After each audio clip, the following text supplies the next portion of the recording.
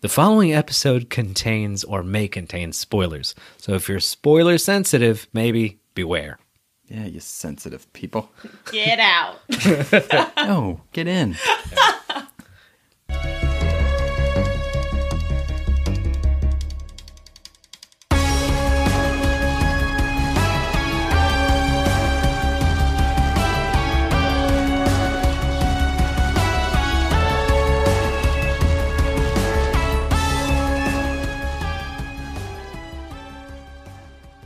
Welcome to the FANtom Zone.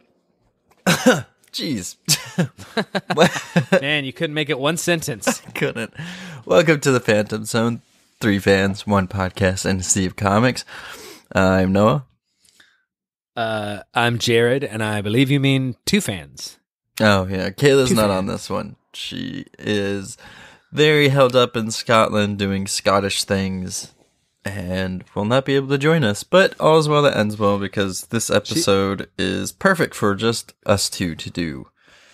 That's right. She's here in spirit, and I should say, I think that it's going to be common when we do these like deeper dives on particular stories that there might be less of us than you're used to, just because the odds of us all reading one mm-hmm. story, Yeah. even though we're familiar with the general territory, it's like harder to find something we've all like we know equally well. Yeah, especially when we get outside of Marvel and DC. Um, Yeah, gets a little less common. Um, but we might have guests on, and who knows? But as hey, we have an episode out, and it's worth it. so uh, absolutely. I'm also sick again. I feel like almost every other episode I'm saying I'm sick. Welcome to New York, where everybody's sick and gets you sick. So that's fun. Um, Yeah, a big part of New York is having a homeless person on the train uh, sneeze in your mouth. That's a big one. that's actually how you get on the train. Um, Yeah, exactly. yeah. So uh, yeah, sick. So bear with me, Jared and listeners. Um, and then I did also want to say that our 2020 giveaway ended. The person that won it contacted us. Um, so they are going to be getting whatever they want from a comic shop up to 60 bucks. And we have giveaways every now and then. Just so you guys know, if you're a Patreon member, you get entered into every single one, regardless if you actually do what we're asking you to do. so Six- 60, 60 bucks uh, full of any comic I can name from a comic store. That's such a good deal, by the way. I mean, I know I know it's our deal, so it's like I'm biased here, but like mm-hmm. I would love to get that. yeah, I mean, You know, I'm technically a Patreon too, and I'm bummed I didn't win. well, I mean, if you think about it, 60 bucks trades are anywhere from $10 to let's say 20. So I mean, that's a good, good, good amount of trades if you want to get that, or a statue, or a T-shirt. What I mean, you know, it's whatever. Yeah, it's like you get the thing you wouldn't get yourself because I would definitely get some crazy ass hardback shit. Yeah, exactly. Yeah, I think they actually asked for a pretty big compendium of um, some X Men stories, so that's cool.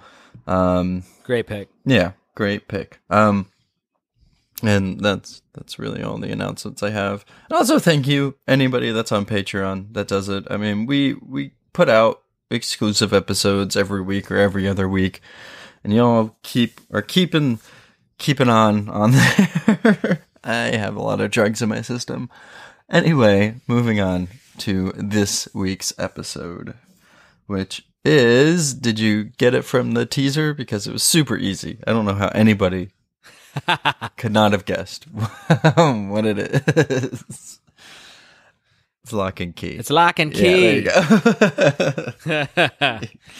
um, very true. That teaser, I got to pick those images out. Very hard. What's interesting, I do maintain, if you have read this story, you probably would have connected those dots. Um, but that's the nature of the story because if you haven't read it, it it's not the most um, salient thing. Nope. You, you know, it's one of those things. Hopefully, you've heard of this. Everybody needs to read it. Um, Yeah, I mean, whenever say this before when it was first ahead. released, the first the first round of printing, they sold out within a day, and immediately ordered a second printing. So I mean, it's crazy. I feel like a lot of people don't know about this, but a lot of people do at the same time, which is weird. Or at least read it a long time ago.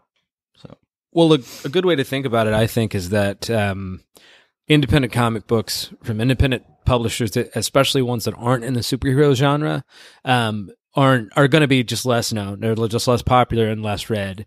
But of those, Locke and Key is one of the most popular. Oh yeah. Um, and it's in some ways exciting for us on this podcast to get to talk about this because you know we love superheroes. There's no question. Make no apologies about it.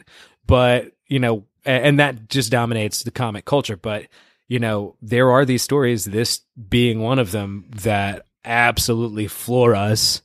Um, I know Noah and I both love this, and I wanted to say before we get to like into it, um, you know, the Netflix show is coming out, Mhm. and we're uh, we're going to talk about that later.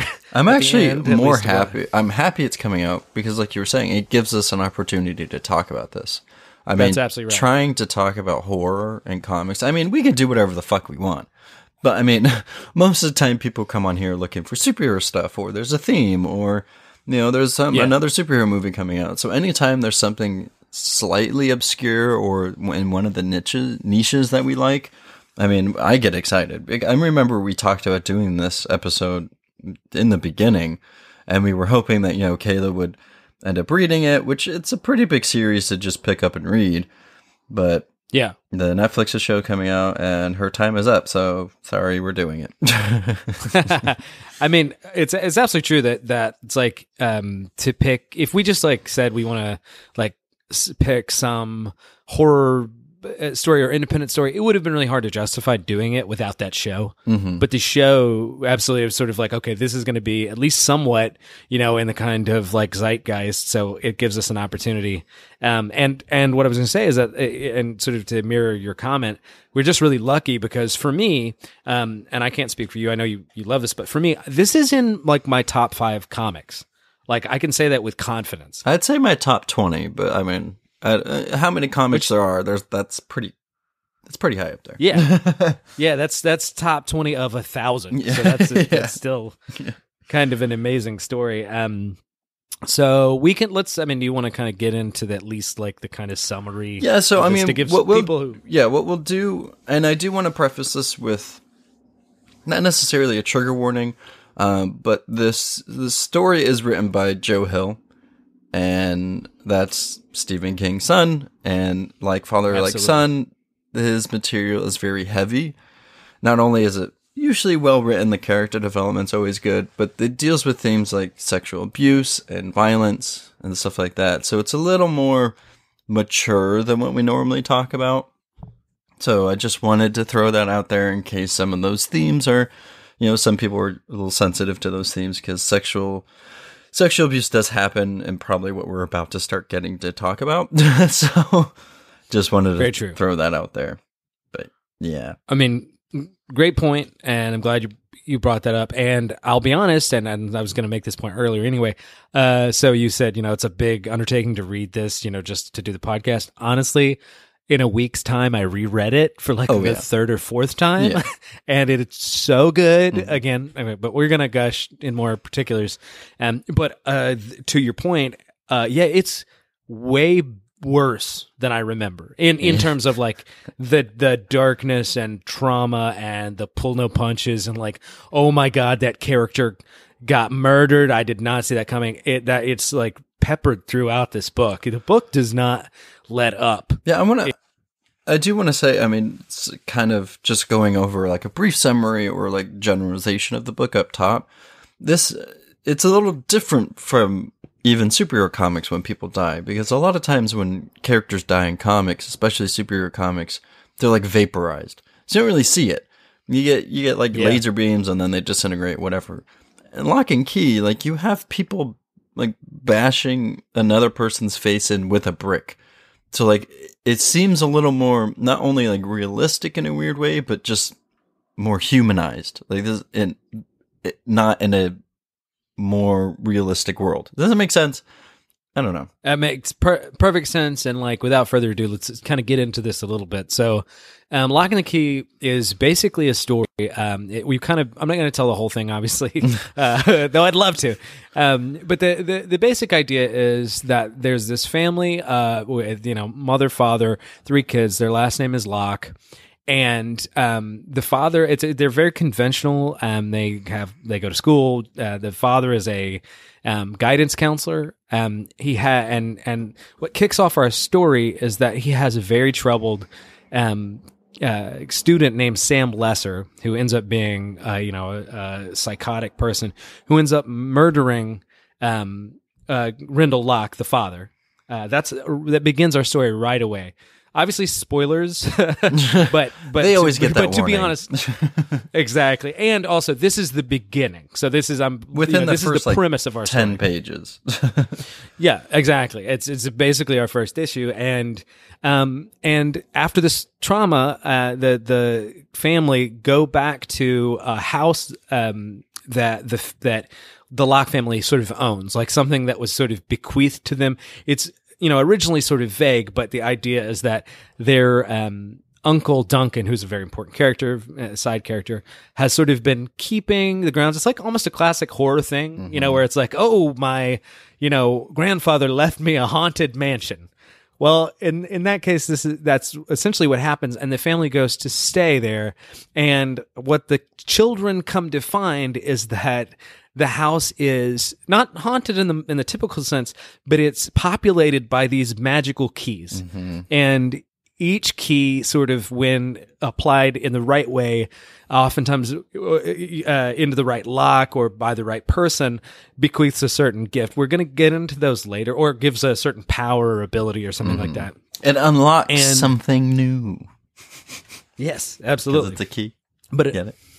But yeah exactly. But unfortunately for the family uh, they're also uh, not alone. Uh, there's a sort of ancient evil and a historical evil you know that that is uh, thwarting the the kids. Now the, and the story is primarily about these three kids. Um uh, for sort of so some reasons we'll get into um but yeah it's i mean so that's our basic setup and yeah, murder. to- family has to relocate for some fucking reason. Why does that always happen? Like somebody dies and then they're like, "Well, I guess we have to go live in this creepy old house that they had in their family that we never went to the entire time they were alive." Yeah, I mean, look, I mean, you're absolutely right. I think so. That's, I mean, that's a great question. Like, why does it? Why? Because it's a classic uh, a horror trope, setup, yeah. and yes, and I think. Well, I mean, for one, I think because, especially in this case, because horror almost always deals with death in some sense, Mm-hmm. fear and death, and trying to cope with that anxiety, and so to begin our story in the wake of that murder is just like part and parcel, and really like primes you for like this is the subject we're going to deal with, Mm-hmm. you know. Um, it also, I think, is interesting because it kind of catches these characters really like in like we're getting it's a slice of life for sure, but it's it's this life slice of life where they're the most in crisis and like living a kind of heightened reality because of that. Yeah. like they're dealing with shit.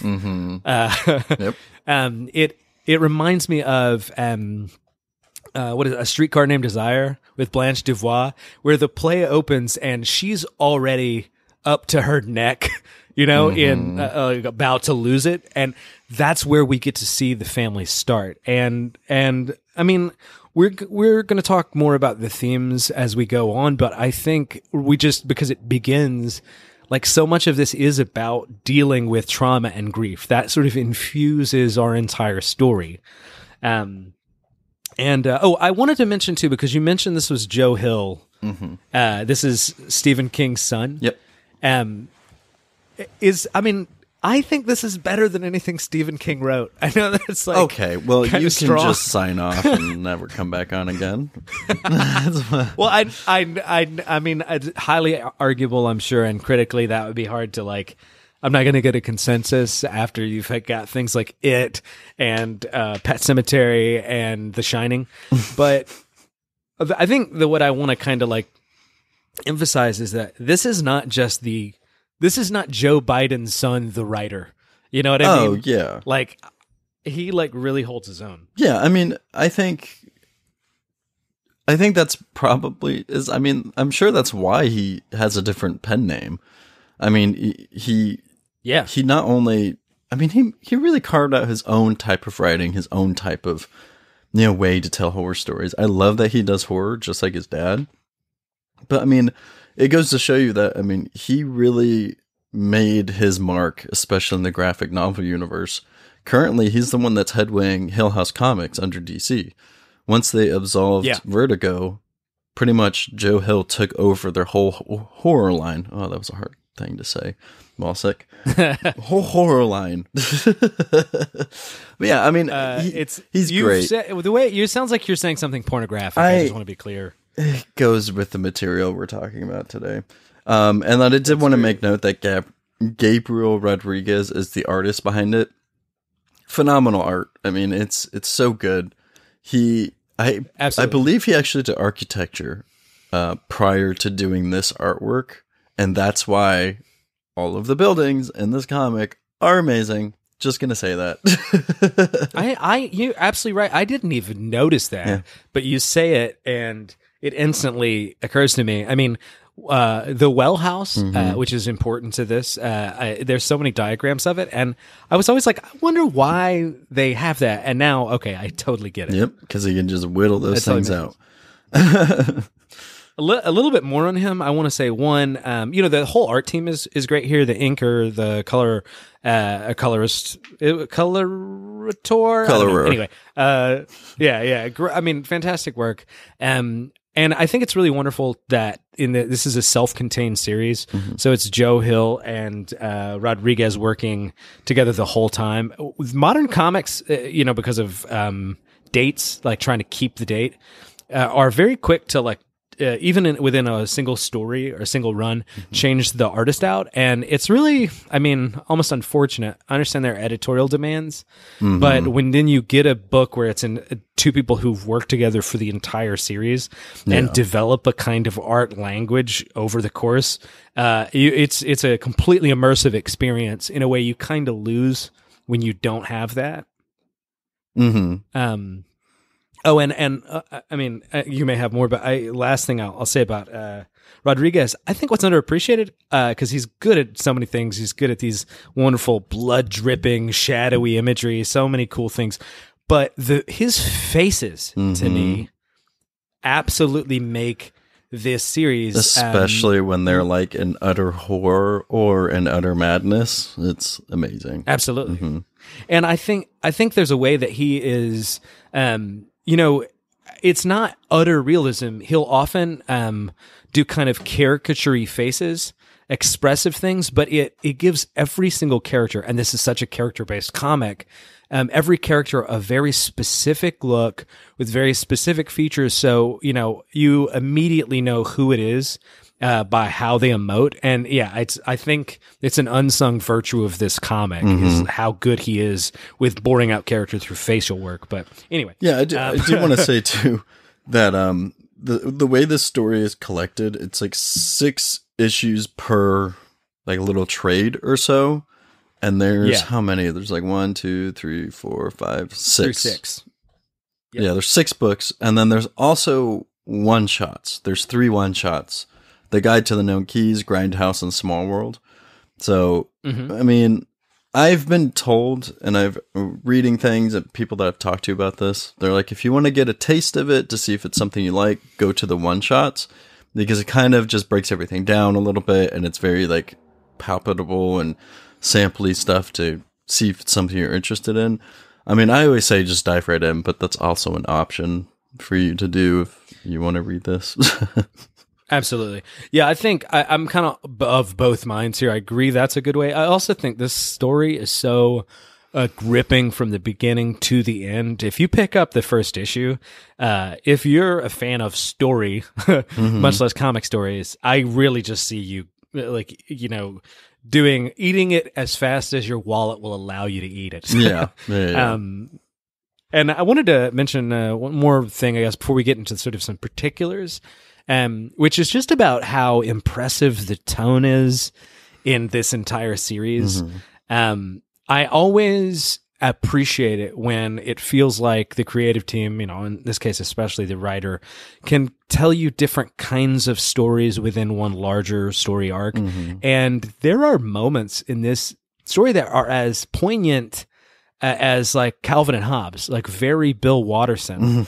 Um, it is it is and then they're clearly very terrifying and very um anxiety uh creating sort of inducing moments too. Mhm. and it really does both. And it's really funny because like a lot of shitty superficial horror is very prone to not be able to have the emotional gravity that this has. So anyway just uh, that i guess it's the last overly generalized gushing i'm going to do about the comic yeah, I mean, I'm sure we'll gush as we go on, but these type of episodes let us freely gush about the things that we Yeah. like the most. Um, I mean, did you want to get into specifics or kind of break down the story a little more? Yeah, let's so um well we can kind of do one by doing two. So basically, as we say, uh their father's killed. Um, I do wanna- Rendell, which by the way, Yeah. I love that name. I, but go I do want to say, can we talk about how his father's killed? Because Yeah, I, that's that's a good point. I Um, so as I mentioned, it yeah. was a it was one one of his um, troubled sort of kids, um, but it's uh, or actually, why don't you why don't you take the lead on this? Yeah, so um, Tyler, the oldest um, kid of the three. So you have Tyler, Kinsey, the girl, and then okay. So I always thought, uh, uh, okay, I knew I knew you were gonna go here when we got to yeah. him. So I always said Bode because it's B O. D E. I thought it was Bode, and also Yeah. I don't know anybody with this name. But the Netflix show that's coming out, they call him Bodie, and I'm like, well, that sounds stupid. Bode sounds better. So I'm just gonna say I agree. I might, I might too. I have to admit, it's probably is Bodie just because I imagine Joe Hill was a consultant on it on the Mm, show. Well, no, he's yeah, he's a huge hand in it, so I'm pretty sure they pronounce it. Right. Yeah, but yeah, I almost uh, two things on that is like, uh, put an I in there. That's how English works. yeah. very clearly. or two e's. Uh, I mean, yeah, or two. Yeah, there's a, there was a thousand ways to indicate with a it's Y maybe. Yeah, yeah, but so it's yeah, Anyway, it's kind of Uh, so Tyler yeah. the oldest, Kinsey the middle, and then Bode.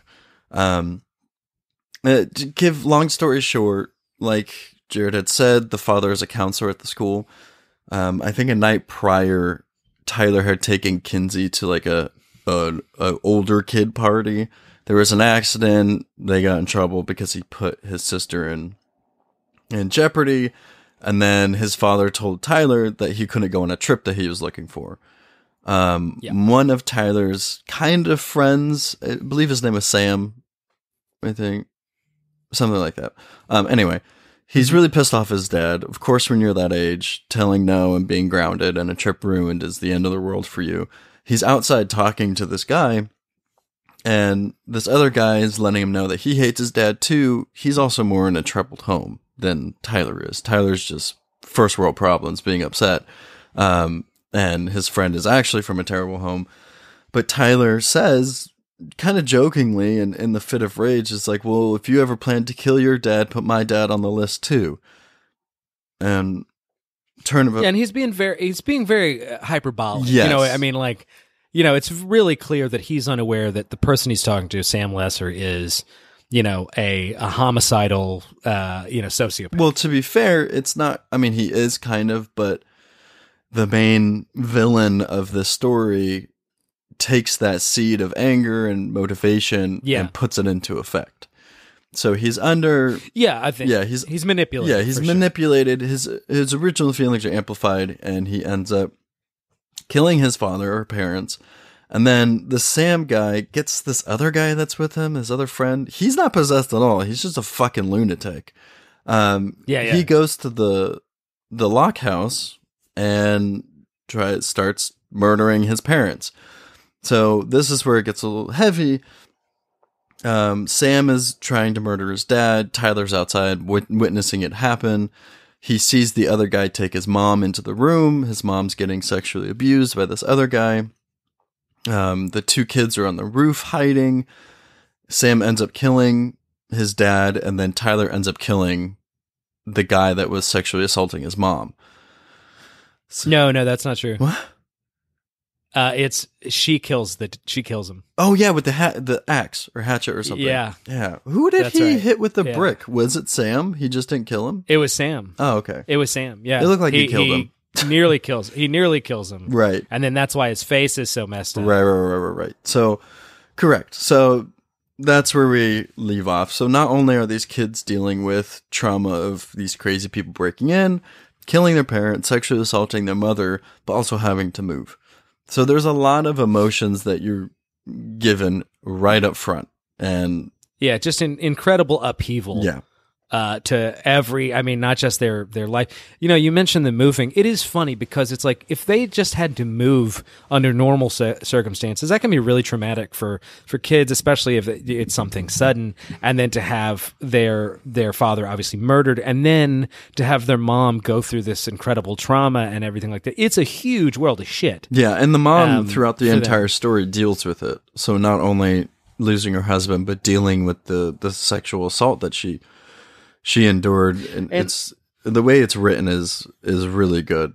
I mean, it's bad. i have to tell you I, when i reread this I, I didn't know she was sexually assaulted Yeah. I didn't realize that the first time I read it because there's so much going on in those scenes, Mhm. and you're really worried. I mean, you're like, oh my god, he's the, these characters are about to die. You don't really. I mean, you just gotten to know these uh, characters, and you have no idea what the book is capable of. Mm-hmm. So, for all we know, this is the story of a family being murdered, and then we're going to do something later. Right. You know what I mean? Yeah. Um, so it, it really is a terrifying um, experience uh, when you're first reading it.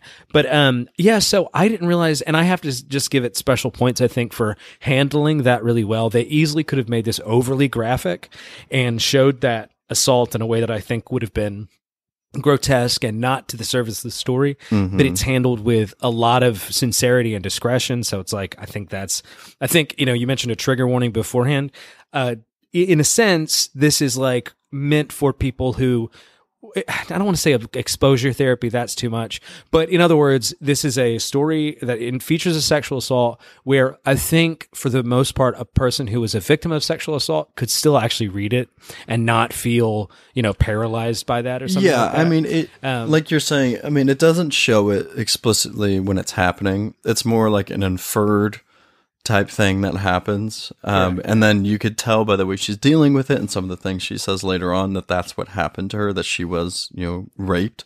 So, yeah, they mention it too. yeah. Yeah. yeah. So, I mean, it, it absolutely. I think he does do a beautiful job of taking a terrible thing and the way he has her process it and what she goes through is very true to how this would happen or it doesn't it doesn't make it a joke or anything. You know what I mean? It's he does it very well Absolutely. with what he wrote. So So, so okay, so we put all that on the table, and uh, we haven't really even gotten to the keys yet Oh, and the magic of this book. It's literally a kind of horror, magic, uh, you know, fantasy Mm-hmm. story. Um, but but there's reason for that because again, the story is so grounded in realism, so well handled, so ex- uh, expertly executed that you know it, it, that's it's got all this awesome groundwork before you even get to the magical elements. Yeah.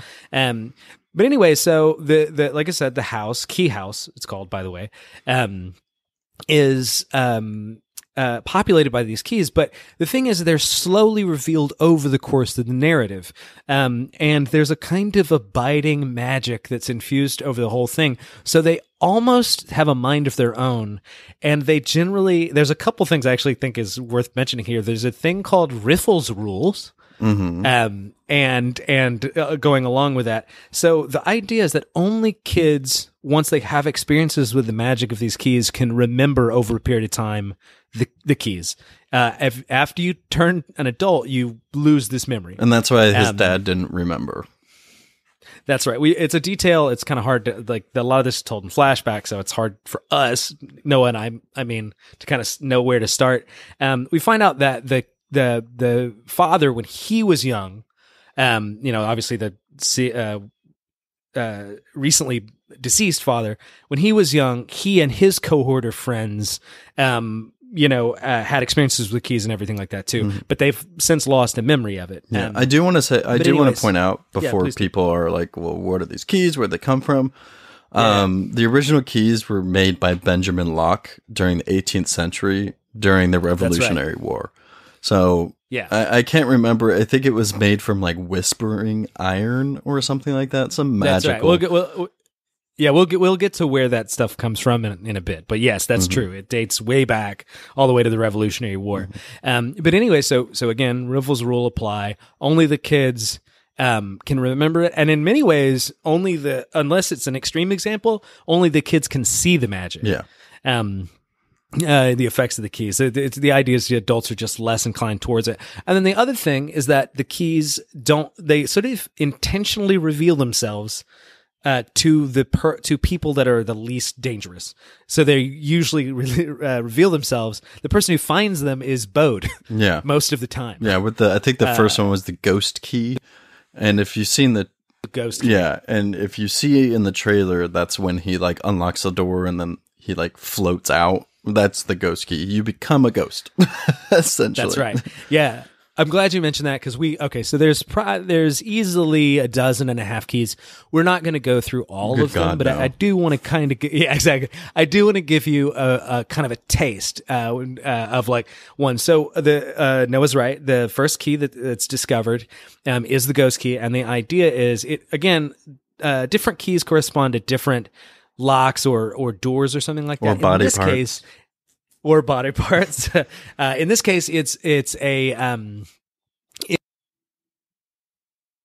on a one door, and the idea is you open that you turn the key, open the door, and when you go through it, your spirit leaves your body. Your body falls to the ground in a kind of coma like state. Um, and you get to go all, you know, uh, essentially anywhere you think of as the as a ghost, and it's just it's basically a kind of Casper. It's super notion useful apparition. if your body wasn't just laying there waiting to be killed or eaten. Like That's right. I mean, yeah, yeah, it's yeah, more yeah. of like a, just a way to introduce them.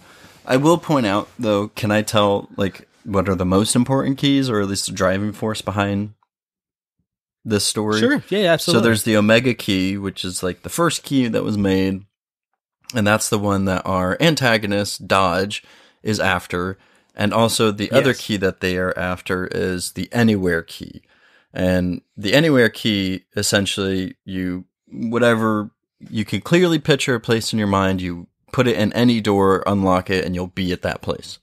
Um, and then That's the right. Omega key is the key to the black door, and and we'll we'll we'll get into that Right, later. right, right. But but but absolutely. But he but uh, Noah's uh, I think very right to point it out because it is a kind of MacGuffin for the story. Our villain uh, Dodge uh, uh, is sort of hunting that for the most of our story. Mm-hmm. So it's a kind of like antagonist's MacGuffin. I wanted to mention a few more uh, keys that are just very frequent in um, the story. Like again, there are all kinds of other keys. There are keys that make you three times stronger. There's keys that give you flight via wings. There's keys that make you key. sixty feet tall. The giant exactly. key. There's all the yeah, exactly. And the Her- and Hercules key. Uh, there's an animal key where you get to become your spirit Okay, animal. So many. I want to know about. Oh, so the animal key. Like, Yeah. Do you get to choose which animal? Because it's not very clear. No, Okay. no, you you don't uh, you don't because remember when Bode goes through the door. Um, I'm glad you mentioned this just because it's such a beautiful little moment. Um, uh, he he's like, I'm gonna be this or I'm gonna be a gorilla or anything like that, and goes through it, and he's a little sparrow. Oh, that's right. Yeah, Um, yeah. And and then they go into Bode's perspective a little bit, and it's more cartoonish. The art becomes more cartoonish. It's a clear reference to Bill Watterson's Calvin and Hobbes, and it's absolutely beautiful. Anyway, just thought it would be worth uh, mentioning. Can you tell Um, he likes but, this? So we have just, just I uh, I love yeah exactly I love both but uh so um yeah so we have those all kinds of keys but another major one is a is a the head key Mm.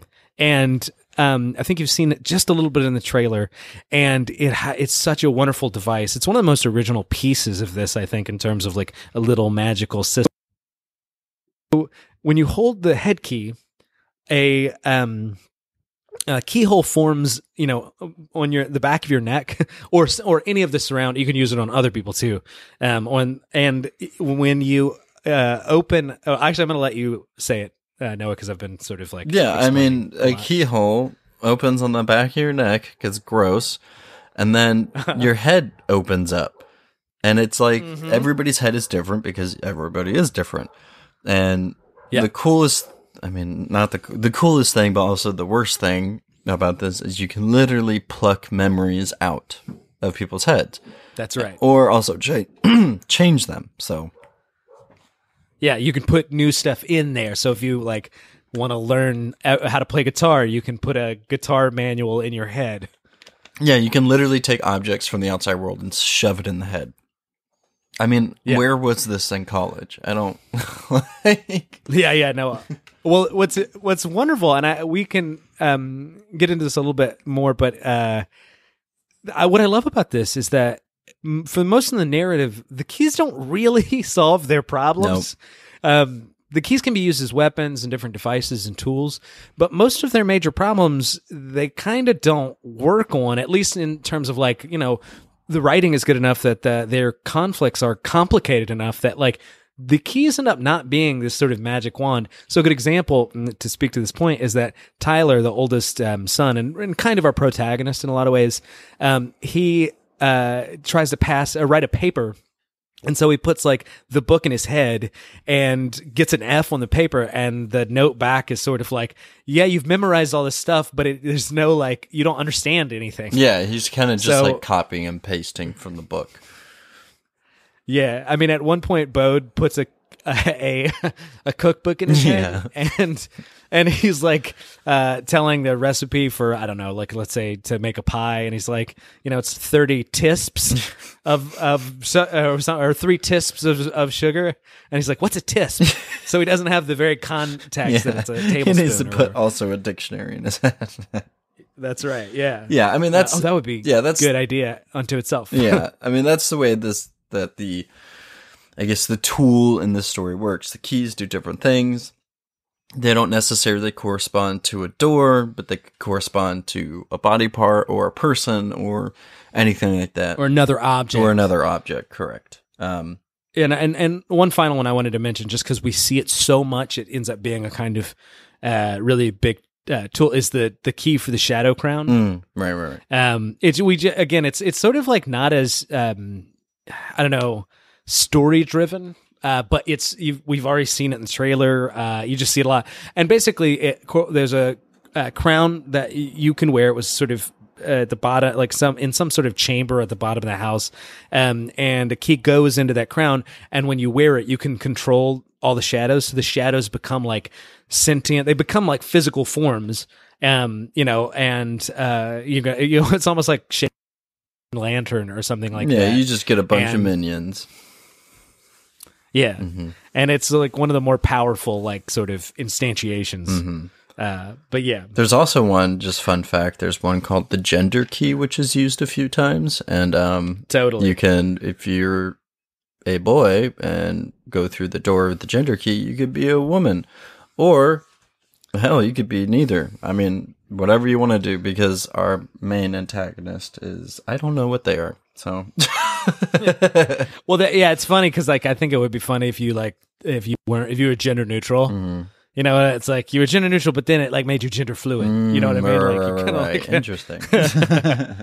Um, but yeah, I wanted to say before we kind of move uh, on too much further. So those are, those are kind of the keys, right? And that's kind of how they work. There's a lot we didn't talk about. A lot of That's like, for them to find out. mysteries discover.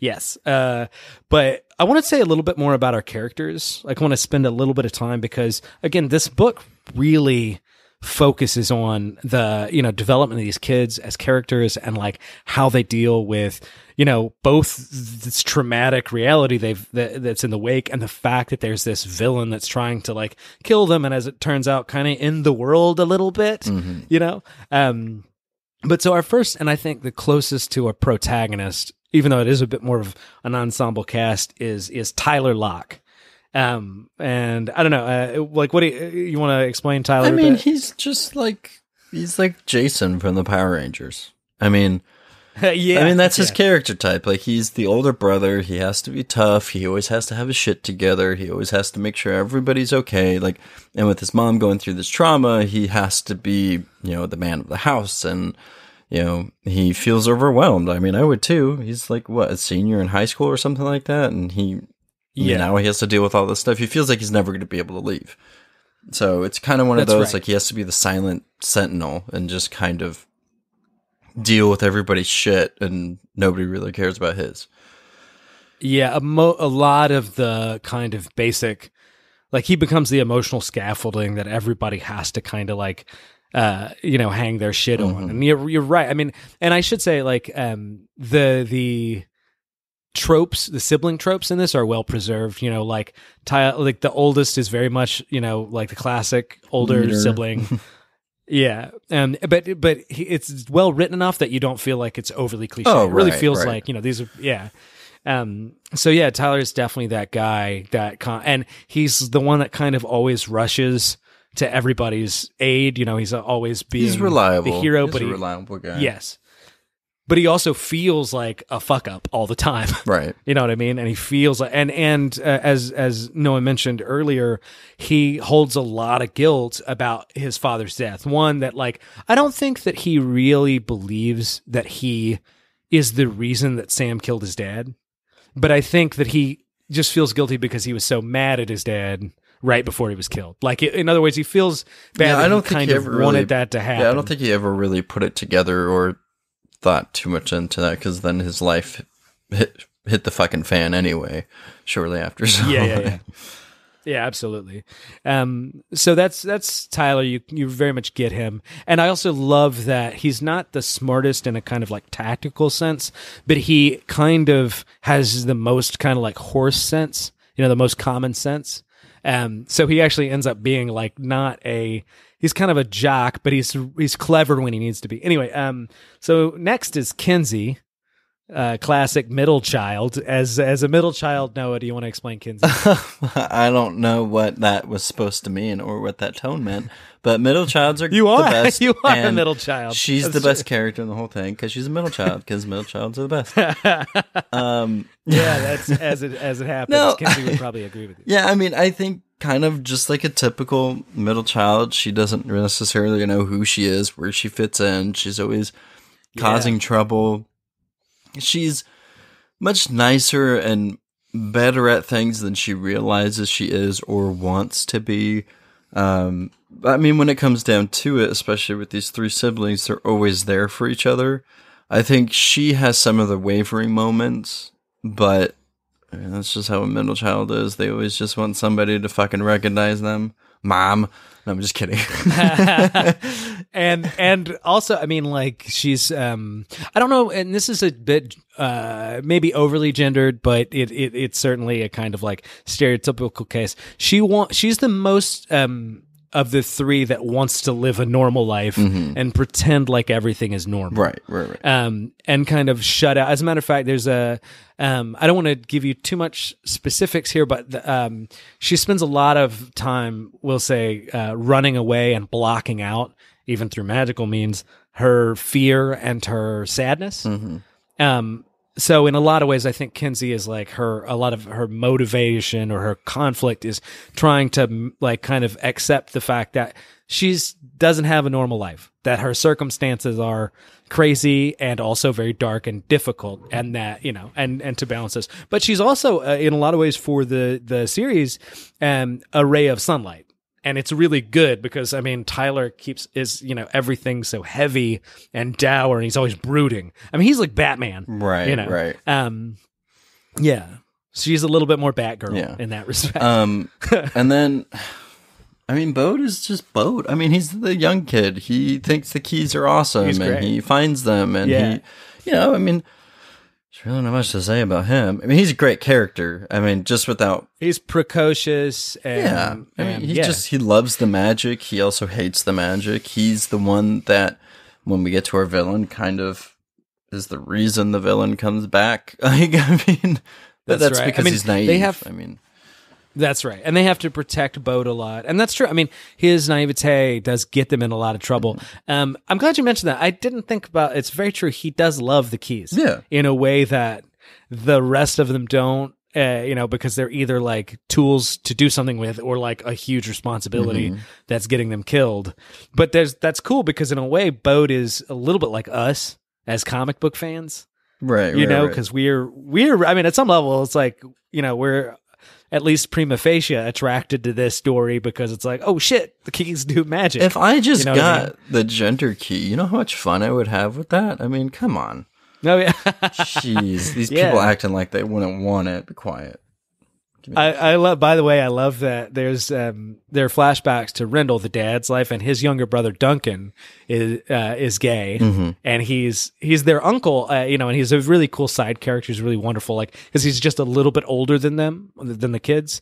Um, and he they were they just had they say that he always liked to play with a gender key when he was little. Yeah. and they show him as a little girl and everything like that. It's very sweet. I, I really yeah. like that.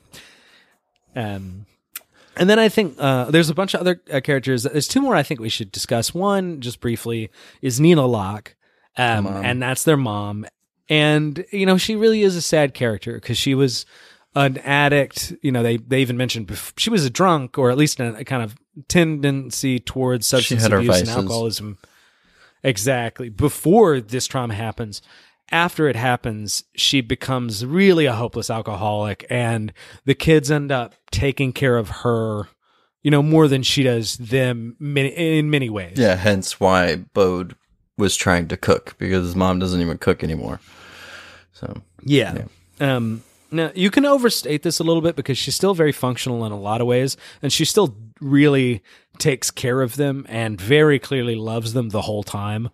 So you know, I actually think she's a relatively complex and well crafted character.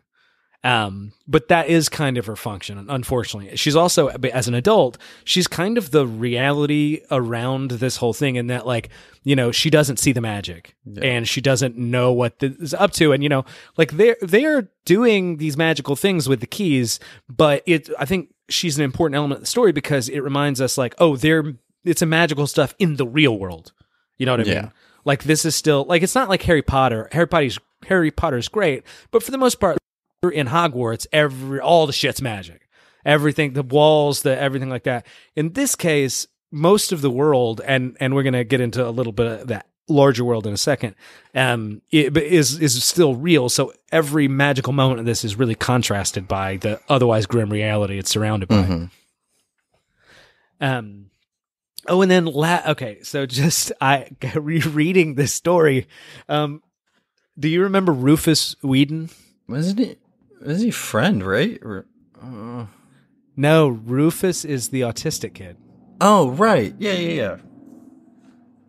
Uh, so we'll explain a little bit his connection, but um, a character named Ellie Whedon, who is the um, one of uh, the father Rendell's old friends from high school. Uh, she's sort of uh, grown up, and she has a son, Rufus, and he's uh, a child who has autism, and he is so much more a heroic character. When I reread this, um, and he's pivotal in stopping our villain, which we'll discuss in a moment. Um, but I want you to just remember about Rufus. I I mean, he is he's so. I mean, it's a very like sentimental, tear-jerking kind of character Right. um, because he is aware he has limitations cognitively to deal with these things. But no matter what happens, and a lot of bad stuff happens to this character, uh, especially in reference to the villain. Uh, he it's very Fox and the Hound. Like he just keeps trying, and finally is crucial in winning. I think it's he's such a wonderful character. So it's I'm not going to tell you too much because it would it would be hard to explain more without going into like you know laborious sort of um, lines of of story. But just look for him when you read this. Uh, so he uh, you remember him then? yeah, yeah, yeah, sure. yeah. yeah. Um, um, and then our villain, this without further ado, Yeah. Um, we've mentioned the name already. Um, it goes by the name Dodge, or, I mean, technically it doesn't really have a name, but it also refers to That's right. itself as the Legion. Um, that's right. and this entity. the children of Ling. yeah. The, this entity, it's from the other side of the black door. Um, it, it possesses people. It has, so Well, let's- the, what? let's Lucas first, and then because uh, in the story we don't really know what is going on for a really long time.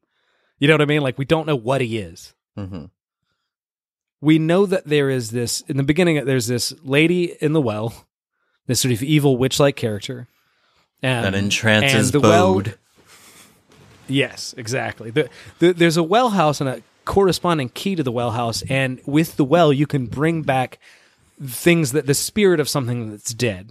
Um, but there's this awful loophole that kicks off the story, which is someone in if someone in the well, if a dead person in the the well house um, gets the anywhere key, they can get out of the well because they, they can't go through the door of the well or they'll disappear because they're uh, just an echo. But the anywhere key allows them a kind of loophole, and that brings back this evil dead or this previously deceased evil character um, named Lucas Caravaggio or Luke. Um, and the de- and so once Bode uh, gets tricked into getting the anywhere key to the villain in our story, that's when everything really gets kicked off. And it turns out that Luke is a friend of Rendell's who was killed because he turned evil, and we'll explain why in a second. Um, but in order to get the keys, uh, specifically the Omega key, the one that they're really looking for, um, sh- uh, does the gender key. Uh, so uh, from a lady to a guy, um, and then poses as a character named Zack Wells, and Zack Wells ends up being a, a, a, a undercover evil friend of our protagonists. Did I get that basically right? Pretty much. Don't give him everything. Jeez. I'm trying not to give him everything, but it's really hard to explain. Like you know, especially because like the thing we almost have to talk about, and like you were about to talk about, is why is why is Luke evil? no, because it's the Legion. Yes. Yeah. I was like, is this a trick question? I don't. Yeah, I mean, I know, I definitely think no matter how what we spoil, this is definitely going to be worth reading. And there's no really way to do this deep dive episode without spoiling key details. This is going to be the most spoily part. So if you're intrigued already, you should probably just go read it and then come back and hear us talk about it. But, um, but the idea is what it, the magic, so to speak, what's really underpinning this whole thing is a very Lovecraftian kind of thing. I mean, I mean, as a matter of fact, the town they're in is Lovecraft. yeah, and the first title of the first book is called Welcome to Lovecraft. That's right. That's exactly right. Well, the town, it's, the town's called Lovecraft, but like, if you weren't, if you're not a fan of H.P. Lovecraft or you didn't, don't have a sense of him, you know, it's just a nice kind of like Easter egg. Mm-hmm. But the idea is, in the 1770s, under the house, like before the the house was just sort of newly created or whatever, the Benjamin Locke and a bunch of revolutionary, uh, um, uh, what do you call it? What are they? I mean, Soldiers? uh, yeah, soldiers. But I was Oh, thinking, just like, call them soldiers. Rebs, American. anyway, yeah. Okay, sorry. Uh, yeah. So um, while they're hiding from the British, they discover a doorway to a different, to another dimension, essentially, uh, filled with these Lovecraftian kind of demons. But the problem is, the demons can't come into our world directly, not physically. When they do, when they uh, the very being of the world, like the not just the air, but something like that, kills them, and they turn into this iron-like sludge. It's going to be called the Whispering Iron, um, and so uh, they they can't cross over that way. One thing they can do though is if uh, they if you go over into the um the into their doorway or a, a- an encounter with it. There's a bit vague about whether you just have to look because certain characters look but they don't get infected or whatever. But either way, a demon can or whatever these things are, these sort of Lovecraftian other things. They call them the children of Ling a couple times. It's not clear why. Um, they can graft onto your spirit, to your very soul, and corrupt you at a deep, deep level. Um, and it only happens to a few characters. Now, uh, you still with me, Noah? Yeah. Okay, sorry. Uh, but yeah, so it, it only happens to a few characters, and and many of which die. But the one that ends up being deeply resilient is the demon that attaches itself to the soul of this character, Luke Caravaggio, aka Zack Wells, and AKA the lady in the well. mission, the lady in the well, exa- exactly, the dark being or something like that. Um, his entire mission is to find the key to the door that uh, th- that uh, ends up getting locked, um, so he can get more of his uh, reinforcement, so to speak. Um, it's Um, the Omega key and it's they. The amazing. That's true. That's it. Very, very true. And it is, yeah. And so, um, but because uh, only the kids, specifically Tyler, for most of the story, knows where the Omega key is, uh, Dodge can't just kill the kids and take it because he, he doesn't know where it is. So most, a, a lot of the meat of our story is Dodge sort of like slowly. It's almost like a hand that rocks the cradle style kind of, you know, thriller. You know, where he's trying to get this information, pretending to be their friend, while also killing a bunch of people who get in his way, uh, you know, surreptitiously. Yep. Um, and it's easy to forget that a huge element of our story is that kind of like it's just like this man, this sort of like serial killer style character going around and like uh, trying to like find this information, find out where this key is before anyone discovers him, and if they do, he ruthlessly and just gruesomely murders them. Yeah, I mean, yeah, you forget it until he does murder. I mean, he murders like twelve people in this. so many people. so I mean, there's The, I don't want to. tons of murder. Do you remember? Do you remember Bode's friend? I'm not going to say much more past. no, that. stop! You said too much. Do you? Rem- no. Do you remember? I'm not going to tell them, but do you remember? yes, Bo doesn't have that many friends. I know it's so much. I mean, yeah, it, this thing holds no punches. Um, yeah, Let's just say and, there's uh, there's there's death with demons. There's death with a bus. There's death with the bathtubs. There's deaths with stabbings and breaking necks. I mean, there's tons tons of deaths caused. It's a lot. Oh, oh, Dodge. and, and I, yeah, and I forgot to mention, and I think that's crucial too. Those demons that tried to come over, but the world itself killed them and turned them into this disgusting metal, the Whispering the Iron. made that's of. the very metal mm-hmm. that the keys are made out Yeah. of. Turns out that Ben Benjamin Locke was a bit of literally a locksmith, like a literal, you know, ironsmith and locksmith, and so he used these the metal to make these keys as weapons and literally to lock up the door that would hold these creatures at bay. I mean, some fucking weapons. If you can't fucking remember them when you're an adult, Well, and this was the point about Rivel's rules, which was that they were at some level really terrified these things would be used for evil. right? Um, so there's a kind of, and it also is just a wonderful little literary device. So like to explain why, because what's funny too is that I think a lot of the way the story is even allowed to function as a realistic sort of, um, uh, like I don't know, exploration of trauma and grief is that for the most part, our protagonists don't really know much about the underlying reality Yeah. that's going on. Yeah, that's a You know, big they don't theme know of the about the- book. Uh, Go ahead. Uh. No, I said that's a big theme of the book. Oh, just that they're unaware. Yeah, I mean it's because they kind of discover things as they go. I mean, nobody's handing him a manual. Their dad's dead. He doesn't even remember anyway. So they're kind of just figuring it out as they that's go. true. So Um, and I, I can't, I don't know if I'm misremembering this. I think, uh, no, no, it's in the story. Uh, I was going to say maybe it's something else I read, but no, it's in the story.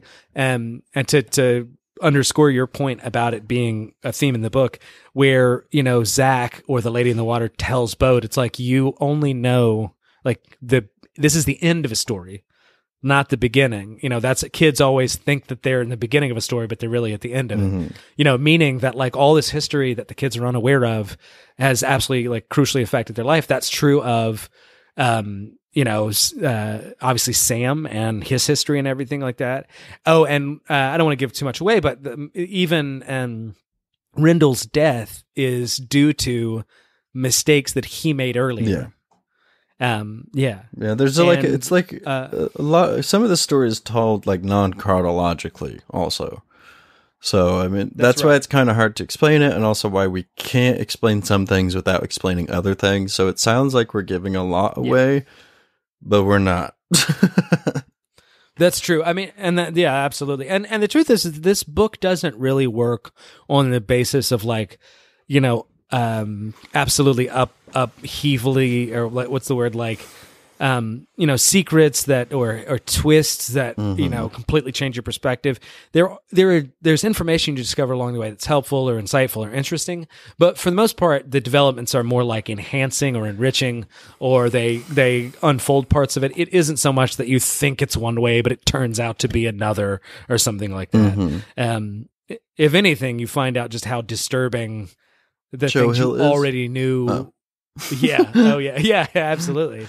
Um, so but uh, yeah. what we need, we should move to favorite moments because I'm actually curious what yours is. I have okay, so I mean, I One. have so many. Okay, no, no, no, no. Fair enough. Um, so I think what I'm I'm really fascinated by is, um, we read these in trade originally, right? So, and then, I mean, I I didn't, I wasn't uh, savvy enough to collect them in single issues. But when you go back, especially after a few readings, you realize, oh, there are certain uh, issues that are, um, like they just told a single story hmm and it forwarded the plot, but it's you know you can tell it's a single story. Mhm. So yeah, if I had to pick like I think my favorite moment, um, and the, of many, like we said, Mhm. um, I really think it's the ghost fight. Do you remember that? Say more. There's a few ghosts It's- in the story. That's that that's just a few ghost fights. Um, it so um, when Sam Lesser gets killed after coming, uh, you know, coming after the family a second time, um, he's thrown through the ghost door. Oh yeah, yeah, Um, yeah, yeah. And yeah, and he, you know, and they think he's dead, and his body's actually cremated. So his like, yeah, you know, his up. ghost is just like free range, you know. um, and uh, Zack, or, uh, you know, our our or Dodge, our our villain in Zack form goes and checks on him and tries to make a deal, but Sam kind of realizes what he is. And they get into a really cool Frighteners style ghost Mm-hmm. fight, you know, where they can change their physical or like ghostly forms Yeah, yeah. like you know like sam turns his arm into a chainsaw and zack uses his fencing sword or whatever his rapier Mm-hmm. um and, and that's super cool but also it's the first time that we see what's attached to zack's spirit and it's very disturbing so i i love the episodic nature of this it's like this cool sort of longer moment within the story it's visually beautiful it really exploits how cool horror comics can be and also tells a, a moves the story along in a very radical way. Uh, so I love that. And then uh, this isn't a moment. I'll just say anything with Rufus. I mean, that's very true. Uh, mine, I feel like it's a cop out, maybe, but it's not. I love the beginning of it when Bode is like getting entranced by the w- woman in the well, and like you're starting to find little things like just before shit hits the fan. Because I felt like in those moments you really got to know the characters and could you could see where their places are and kind of how they are, and then when Bode starts finding the keys, and it's this weird little like Tyler stealing with his mom, Kinsey's trying to be a rebel badass, and Bode's like, I found these keys and they're great. Nobody else wants to use them. I'm gonna have fun with it. But then he lets fucking Satan loose out of the well. But Yeah. like, I don't know. I just I really love the the beginning of it. It's it's probably one of my favorite Yeah. parts in the whole thing. And Bode is probably, I mean, unassumingly became one of my favorites in the whole story. So Absolutely. Yeah, I mean the, that moment. yeah. Well, that but that period in the uh, in the story is just so pregnant with story. Mm-hmm. I like, there's so much like- happening all at once. So I don't like that you just described that as pregnant. it's uh it's baby full. Oh, okay. you're right. Gross. um, It- it's yeah. so one of the reasons why we're doing this is because the Netflix, the Netflix, jeez Louise, I just hung out with my grandparents. Um, one of the reasons why we're doing this is Netflix is coming out with the show. But did you know that it was almost a show twice and almost a movie once? That stands to reason. Yeah. I mean, I, I didn't know that, but I do think that like I'm I'm they I'm sure they could just waiting to like interpret. This. Yeah, so in 2014 at Comic Con, there was supposed to be a film trilogy, and they were going to release it in 2015. Um, then that didn't work. Then um, Fox was going to do it. They did a, a TV pilot. It was going to come out in 2010. Also didn't work. Then Hulu was going to pick it up in 2017. That didn't work either. And then Netflix came and saved the day in 2020. And Joe Hill was like, you know what? I'll just, I'll do it. Like, I'll, I'll, I'll write this and I will make sure it's fine because for some reason Well, they call it cursed because every time it's being worked on, I believe the Hulu one was actually going to be done by the director that did it. So like there was big names on that one and it just didn't go anywhere.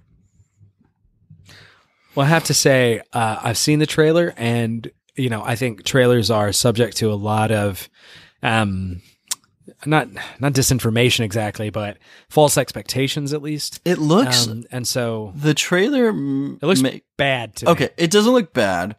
I mean, Yeah. if you've read the books, it kind it's a little jarring because the tone is really weird. But That's right. it could just be all the happy moments thing that they're showing. Th- th- I mean, But That's true, and that the song, the music specifically, I think might be misleading because the um, it feels very Disney Channel to me. But I have to admit, it's not- a lot of that might be the music. I think it feel the way the trailer makes it feel is uh, Narnia with keys. Yes, and which I love Narnia, but that's not Locke and Key. So I'm I'm hesitant to see exactly what they will do with this because it it did seem really bright and colorful in some places, which in the book there is, but like I don't know, there was blood, so I mean, I mean, there will be blood. what what makes me feel not great about it um and again i i uh, you know it's, i feel like i'm channeling kayla almost a little bit. Like i'd love to be wrong about this in this case. I want this to be good. Now at some level i've read the comic three times so i almost just don't give a shit. If it's good great. If not i can always read the comics and i think that's like the right attitude to have. They can't take away what's already been amazing and wonderful. Um that being said uh it's like this this is um you know in a lot of ways equal parts horror and whimsy. Mm, and what i'm getting from that trailer is max whimsy yeah, uh with low horror. Um and hopefully that's hopefully i'm wrong. Hopefully we get I mean, a lot of of dark. I believe one of the producers or person that's doing it worked on Preacher. So that's Yeah. not too promising as far as like if you want a good adapt- adaptation of the comic into Yeah. the thing.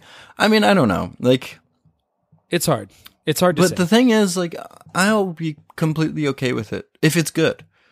You know what I mean? It's just another Um, interpretation of it. Uh, from what I've seen and heard Joe Hill talk about, that they're going to go in a different directions from the book did. So it's going to be like a Walking Dead situation where like they'll Sure. follow the general, like this is what's happening, but different things will happen. Cause I think they showed one of the keys. I can't even remember which one, but they found it a different way than they did in the book. And I'm like, oh, okay, this is going to be different. I, ironically, that's maybe I like that better. That like it's like if they're going to change the tone, I think I'd rather just have a different story that has like is kind of parallel Mhm. rather than have a straight up like retelling. Like I don't want another Zack Snyder Watchmen, which it wasn't awful. I'm not Shh, shitting. Don't it so say much, that. The, Snyder but- Cut people will attack us. Yeah, they can go eat a bag of dicks. Anyway, so see what's wrong Uh, with that, but okay. the Snyder Cut people are so they're flat earthers. okay, we got it. Move for- on for from comics. that. anyway, well, here's but here's the point, which is that Watchmen was a one to one translation, but the tone was sort of off, Mm-hmm. and it's like Zack Snyder didn't understand that that was a satire, um, and so similarly. It's like I don't want a one to one with a with a kind of where they mess the tone up. Give me another story. Let's have some keys and some fun. I'm all about that. So that's that'll be a saving grace. Last thing about this trailer, um, we need a renaissance of casting directors. Um, casting directors are a huge problem uh, in certain properties. They're connected to a lot of marketing, which is fine up to a point. Here's the thing: when I saw the kid that was playing Tyler, I was like, "Oh, they got a model. Mm. Fantastic!" It happens all the time. It happened in Perks of Being a Wallflower. Um, here's an audio uh, analogy for you. If you listen to radio, especially pre-podcast style radio. Uh, the disc jockeys have a tendency to talk like this. Welcome, to, we're going to talk about Locke and Key today. This is going to be really good. Uh, no one tells them to talk that way. they just think they're supposed to. Yeah, yeah, yeah. No one likes it. It's and so and it's really gone out of fashion because of of podcasts. But the point is, is that that and very similarly, this movie does not benefit, or sorry, show, sorry, does not benefit from a very model, attractive looking kid. When you look at Tyler, the whole point is that he's like kind of a normal dude. I mean, by like And- casting standards, that kid is normal. I, he is, but I, I, I, here's my thinking on it and why I think it's important. It means they prioritized something Mm. that against the idea of like the acting chops of the person. Yeah, I mean, You know what I mean? They were fearful that since this property is not well known, that they needed to get some good-looking people on it. I guess. Um, I mean, I I, love suppose that it's- but Georgie you look is at- playing Bode, so that's cool. He very good. Well, all, all kids look, you know, cute. All Like, kids you know, there aren't same. many ugly. Yeah, they're not. I mean, you know, not ugly kids for the most part. But the other thing is that, like, what I'm describing, uh, you you can see it get real bad. The CW is this problem written Don't large. Those people are CW. no, but it's very. I understand, but it's very true. They they cast those people. They're all models, and none of them can act. And it's very clear that if you just fix the casting in the CW, you would fix half of the problem. Yeah. Yeah, I agree. I mean, Anyway, I agree. So that's that's a rant unto itself. I mean, I'm yeah. hesitantly excited. I think it comes out the week we release this, or maybe Oh, I'm gonna watch at the end of every. I don't know. issue or episode. Yeah, I mean, if you've read the comic, let us know what you think, and then when you watch the TV show, let us know what you think. And then if you don't like either of them, then listen to one of our other episodes. Should have said that in the beginning. Well, please do. Please do. But I, I really, I mean, I don't know how you could not like this. I want, I want to say that this story is, uh, it's a beautiful piece of literature. Mm. This is, I mean, this is one of my favorite horror fictions. This is one of my favorite novels. It just happens to be a graphic Oh, novel. I Um, will say, um, like if you don't want to shell out the cash to buy all you know the novels and stuff, um, they did an audio drama form of it, and it actually, I think it either won awards or got nominated for you know the top audiobook or audio drama awards. Um, I've heard some of it; it's really good. Like it's so good that you don't necessarily need to see the pictures to understand what's happening. Like they really paint the scene with it. I'm just saying, like it's another way that, like, you know, if you're listening to this and you don't really want to spend money on six kind of trades of the comp, the the books or whatever, there's other ways you can get the story. But just read it; it's so good. Give it a chance. Yeah, the, the, the, this is kind of like our recommendation uh, section. Like uh, Noah's recommending the audio section. I'm going to re-recommend these comics because I'm I'm holding them right now, or one of them at least. And um, it's IDW. We forgot to mention that before, but I that's important, it. right? They're, they're the publisher. Uh, we forgot to both mention it in unison. And anyway, no, no. Uh, Uh, but anyway, but the thing is, is that because so this isn't talked about enough. I mean, I love Marvel and DC, but if you get a uh, a graphic uh, novel or trade or you know anything hardback, um, or or paperback uh, from anything but Marvel and DC, it'll be about fifteen dollars less. Oh yeah. and these are uh, physically some of the most gorgeous graphic novels, like the hardcover. Like they have like those like uh, the letters feel like braille. You know what it's I mean? like em- embossed, kind of. yeah, like it's like they pop out a little Yeah, bit. yeah. The art's beautiful. It's a it's a substantive thing in your hands. Mm-hmm. It even has that little like number or sorry that little ribbon bookmark thing. Oh yeah, those are really nice. I want them Yeah, to come out 20 with a big collection of them, and you need like seven keys to unlock it to read it. That's that would be awesome. But but yeah, just to remind people, these are these things are twenty five dollars, and if Marvel or DC put them out, they'd be like forty five. Oh yeah, yeah, they're they're hefty books. so uh, yes. So I'm just saying, v- awesome uh, deal. Mhm. I mean, guess that's it. That's Yeah, please read Locke and Key. It's amazing. and watch. Thank you, Joe Hill, and go ahead. Sorry. Gabriel Rodriguez. Yeah, I was saying thank you for making this. We love you. It's a fantastic He's never gonna hear this. I wish he'd hear this. if somebody, if one We'll of you knows later, Joe Hill, issues. send this to him and tell him that Please these do. nerds are gushing about his work. That'd be great. Absolutely. And then tell tell Stephen King to hit me up because Stephen King's one of my favorite writers of all time. Anyway, I will leave it on that note. Thanks, guys. thank you guys. Thanks for listening. Follow us on Facebook, Instagram, or Twitter at the FANtom Zone Pod for more podcast updates.